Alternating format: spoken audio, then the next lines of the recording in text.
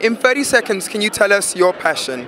Oh, my passion. I love art. I love anything creative. I think art is such an expression of you, and it just gives you such a new, unique ability to share with the world.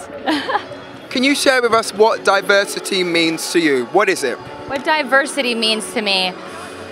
Diversity is just a way to, again, just to be unique and be able to feel confident about it, to be honest. I think it's great. That's why fashion is so great, because it's everybody can be so diverse in their own style, personality, all that stuff, and you get to showcase your own self. You could wear a sock and be cool. There you go, and it will be fashionable. It'll be fashionable. Tell the viewers about your music, Miss Sony, Sony, Sony. Sony, Sony, Sony.